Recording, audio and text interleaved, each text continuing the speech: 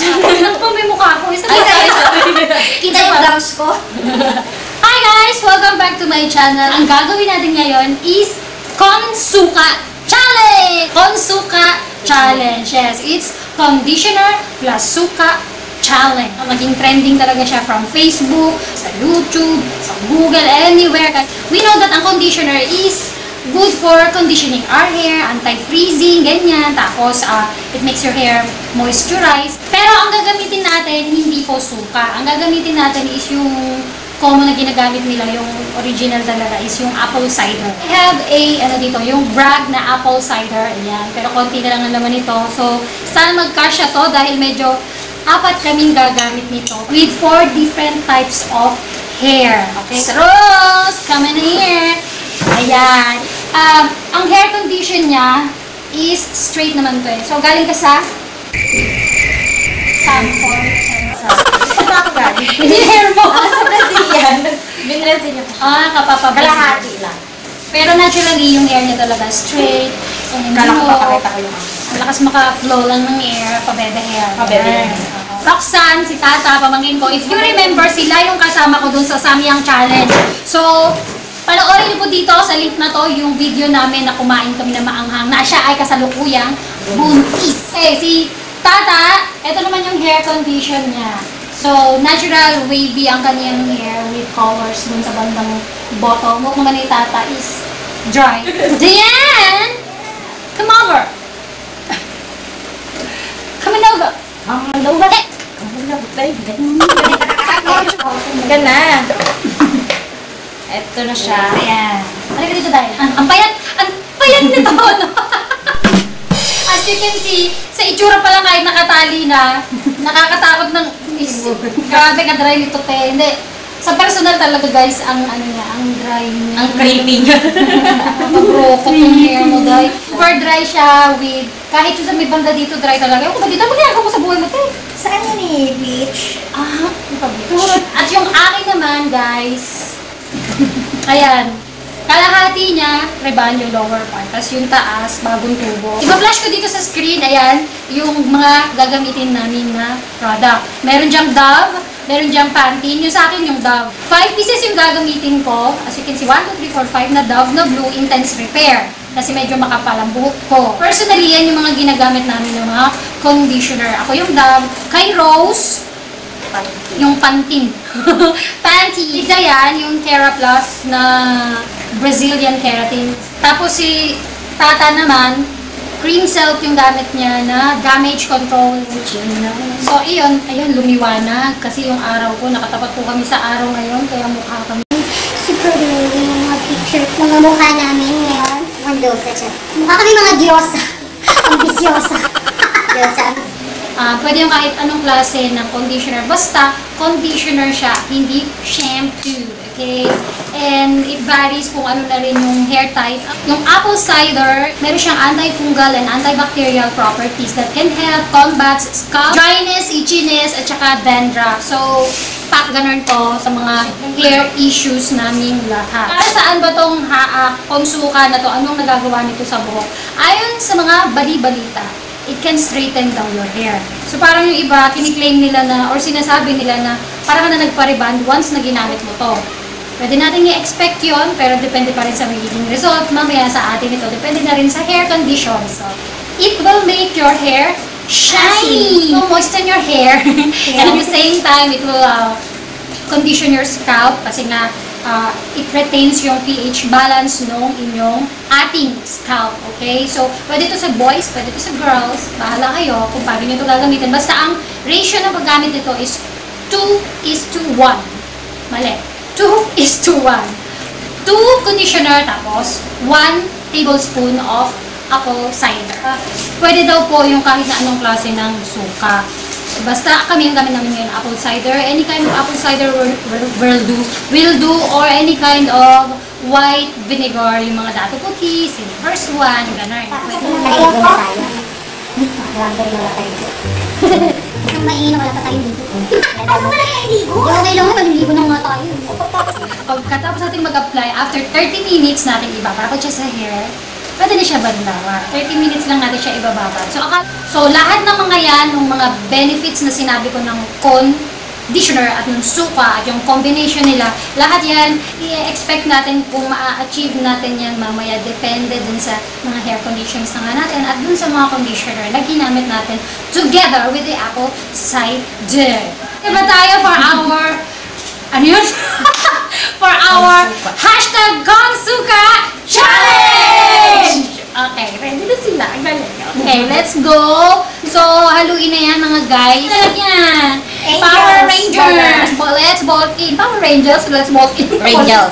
Rangers. Let's go in. Okay. Tapos, kailangan natin mga spatula. Ito yung spatula ng, ewan ko ano sa blender ko eh. At kailangan meron tayo ng pangsukat. Tablespoon to guys. So, dito na tayo magsusukat ng everything sa sukat. Okay. Pa-fast forward na lang natin in 1, 2, 3. Ayan po. Naglalagay na po kami pakita. Pakita mga bata. Dala ko lagi na yan. May talaga Pilipino sa kasi. No. Ba't yung ilagay ko talaga? Dahil bilisan mo na. Nalagay Pilipina. 1, 2, 3. Sa akin, lima yung, da- yung, yung dog na nilagay ko. So, two and a half ng sukat. Ang ba baluto? Mabango yung condition. Tingnan natin kung lalaban. Lalaban yan, I'm sure. So hindi ko na iisipin or hindi ko na hindi na namin iisipin kung magiging malapit siya or hindi. Basta susundin natin yung rules nila, yung basic rules nila na 2 is to 1. Paulit-ulit ako, 2 is to 1. Ang bano. Ayun na. Ang bano-bano. Okay na. Pero amoy kuha, konti. Mukhang kulang sa buhok ko. na. Ganyan yung consistency nung sa akin, guys. So, Ako din ganyan. ganun. Say tayo. Try mo ma-drop. Pag-drop. Pa-English. Hindi mag-drop. Dapat Oo, medyo mas, mas thick yung sa'yo. Sa akin, ano eh, or dahil sa spatula lang gamit ko. O, halos pare-pareho sila ng consistency. Tama siguro yung ginawa Kaya natin tatay dito mag- So, start na tayo. Pwede niyo pong gawan to na agawan to. Gamitin to with brush. Meron kaming brush dito. Pero dahil apat kami at nag-iisa lang yung brush namin, kakamayin na lang namin tututan. Ayun, paano maglagay? Yung iba, nakita ko nag-start sila sa bottom pataas. So, Ayoko kasi. Ganun. Kasi usually nandito yung mga damage. Pero hanggat maaari dapat sana, medyo umabot din siya ng konti sa anin para makuha natin yung benefits no apple cider sa ating scalp. Iin ko muna sa gitna. Start na tayo. Lagay na tayo mainit. A few moments later. Okay, dahil medyo mafu-full na yung kanan ko, sa kabilang side naman, bago maubos ng tuluyan to at maibalanse ko ang paglagay. One eternity later. Wala tayong mga pangbata. Ayaw ko nga. Nakalimutan natin yung plastic. Yung plastic? Yung marami yung plastic bag dun. Pwede sila pa yung sa bahay mo. Ayoko yung plastic mo. Huwag na yun, naubos lang yun. No, marami naman gumagamit. Sa rolo yun natin nakaharap sa meeting ko. Maganda yun. Okay, mo na. okay guys, we're almost done sa paglagay ng aming mixture. Kung kanina wala kaming cellophane, wala kaming cellophane, meron pala. Tingnan mo yung cellophane namin. Tingnan mo, panalo to. Pa, pag hindi tayo nito mabalutan, ewan mo na. Tapos namin lagi. Madalas eh. Magabagsakan eh. Ah, bongga! Saan ka pa? Thank you for this ako. Oh my gosh. Sige pa, sige pa. Ang daming bukok, bukok ko. Hindi naman na ito. Isang ito yung Okay ba? Yan, bonte. Ay, Girl Scout. How to balot-balot? Paano ba? Balutan yung mukha. Hindi yan, pala ba? Para ba? Baka mo to. Kapit busy. Ako na kapit busy. Ano ba tayo? Init ng liwanag. It's my turn! Ora na yun. Nali, ako dito dahil. Aray. Dahil, mahulog dahil. Sige. Um, Sinfood. Check. Okay. 15. Ang galing ni auntie yan. 3.15. Natapos kami kanina. Ano yung 3.04 nung nag-time check ako ngayon? Sabi ko 3.15. Amazing! Bakla. Patingin sa akin si Beth. okay, isang pose naman dyan. Charot. Dali pa model, pa model. Macho. Okay. Chika-chika muna tayo for 15 minutes. Kami lang pala. Ipo-forward na natin ba? And one, two, three, five! Paano paano sa'yo? Payat ka pa naman yan. Tapos naman ba yung clavicle niya, yung collarbone. Ako, ang bayat diba? Ikaw nga gawin mo? Parang mukha ko naman yung Bakit yun? Wala akong cheekbone. Ipinilit. Ngunit ayaw. Welcome back! Mobile Legend. Bumalik na kami at ito na yung buhok namin. Hindi ko na naipakita sa inyo kanina nung pagkatapos namin tanggalan ng cover kasi busy ang mga ina dahil sa mga tiyanak na ganire.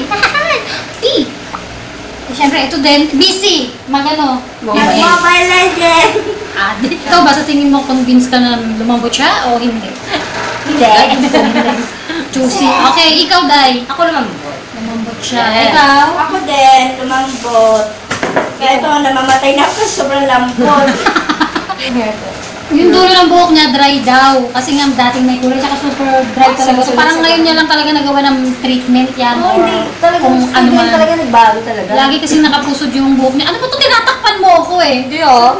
okay, ito daw, lumambot daw sa kanya. Sa akin, dahil sanay talaga ako ng gumagamit ng Dove na serum nga. Ayan, andyan ulit. Yan, yung Dove serum na yan. Sanay ako na malambot yung buhok ko every time after ako mag-Dove serum ba ba? Dove serum. Hindi, hindi ngayon. Yung everyday use ko na, do- na conditioner, Dove serum talaga conditioner. Pero sa ngayon, malambot din naman siya, pero mas malambot pag yung Dove serum ang gamit ko. Sorry naman sa Consuka expectorants dyan, no? Tapos, ano ba, yung pag-straight niya, hindi lang natin alam mamaya. Pati yung silkiness niya, yung smooth. Malalaman natin yan mamaya pagka totally natuyo na siya.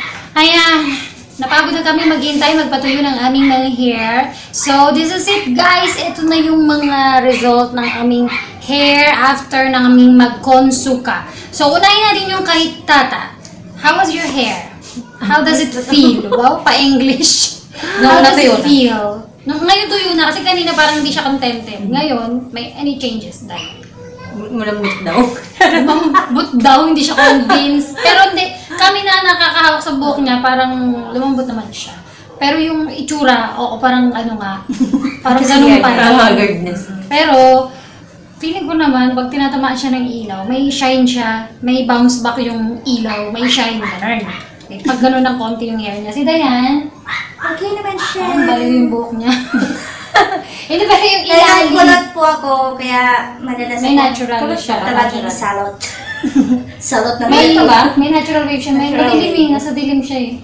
Ayan. Tapos yung ilalim, yung may kulay niya, nag-usa Nag-straight. siyang nag-straight after namin mag-consulta. So, kasi, ayon doon sa aking research, yung consuka, it is good for those rebonded hair, colored hair, relaxed, or yung mga damaged hair. Maganda siyang treatment talaga.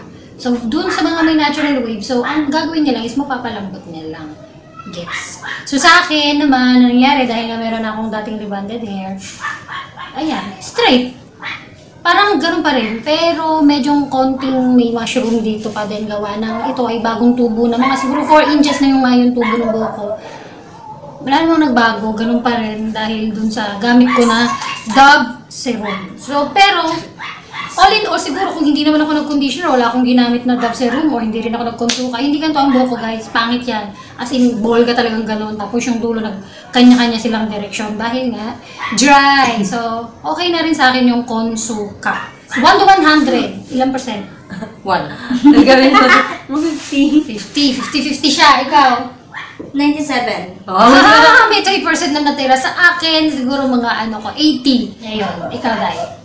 Okay naman. Maganda. Nagustuhan mo ba? Shiny. Na, oo, nagustuhan ko siya. Kasi kumintab siya. Siya. Ano? Lalo. Tapos, Lumambot. Tapos, Lumande. lumande. Mm, Basta gusto ko siya. Gusto ko yung dating. 1 to 100. Ano siya? 100. Wow, 100. 100. Kasi ayan no, sumusunod sa galaw mo, sumusunod parang gago oh. masunurin siya, masunurin. So, at least, iyan guys, sa iba-ibang klase. Okay. Sa iba-ibang pagkakataon, o sa iba-ibang pagkakataon, sa iba-ibang klase ng buhok, yan yung magiging effect niya sa inyo. So, it depends kung ang buhok mo ay fully natural na buhok kagaya nung kay tata na may wave. Maganda naman siya, o di ba, may pa, may pa-wave. Natural yan guys, walang walang nagawang, walang ginawang plantsahan ever para mag-wave siya ng ganyan. Ganyan talaga yung buhok niya. And at the same time, dahil nga may tama ng liwanag, medyo may sya- medyo shiny siya. Sa akin naman, ganyan ang effect niya. Sa akin din hanap ko bakit may, Sa may ilaw nga pala dito. may Kaya shining, shimmer- shining. May shining shimmering sa akin. So, all in all guys, hindi ka rin naman madidismaya ng 100%. At least may 50% pa rin, may 97%. Maganda pa. May 80 at may 100%. So, all in all, um, maganda yung result niya. May result siya. So, it depends na lang din sa inyong hair condition. Ito ha, wag nating asahan to na 100% maganda. Depende sa hair condition, sa mga treatment na ginawa ninyo before kayo nag-apply. At saka kung hindi kayo madalas nagtitreatment bago kayo gumamit nito, asahan mo na hindi niya ibibigay sa yung 100% na ganito. Kasi ito, maalaga to sa buhok, kagagaling niya nga lang ng Brazilian. Ako naman may everyday akong, ano nga, daw serum. Siya talagang walay. Ito naman, bihira. Dahil nga bagong panganak, iwas sa mga chemical ang lola mo. So, Iyan lang ang nagawa para sa kanya ni Konsuka. But anyway, itong Konsuka, pwede nyo daw po itong gamitan twice a week.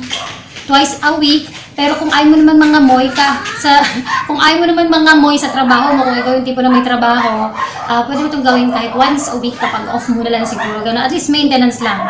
So, yun lang guys. Thank you so much for watching and thank you so much sa pag-i-stay nyo sa channel ko. Thank you so much sa mga pamangkin ko na may dumaang motor. na pinagtsagaan na matapos namin to na kanina parang nawalan sila ng gana kasi kala na hindi maganda yung hair nila. Pero all in all, pag natuyo, pag na totally dry na at bumaba na yung oil ng hair, kahit pa paano medyo gumaganda na may itsura. Pero one thing pa pala bago ko loko tuluyang magpaalam, guys, yung amoy pala. Kanina na nilagyan namin yun, mabango, amoy suka ng konti. Pero this time, pag inamoy, sabay-sabay natin amuyin. Ano na amoy mo? Walang may suka. Amoy suka! May sumoy. Wala siyang ilong. Bingi yung ilong niya. Eh, sinampo niya. Hindi Ma- parang, bakit ganun amoy pangkulot? Akin, parang medyo, medyo kagaya nun sa kanya. Ayan, nagkampak yan sila. Yung, Oo nga no. yung sa akin, medyo, may mas pangkulot. matapang yung kami nung keratin. Sa'yo pa. Sa akin, parang 50-50 yung amoy. Pami nga. Ang hard mo. Ayun. Nagamoy na kami ng buhok.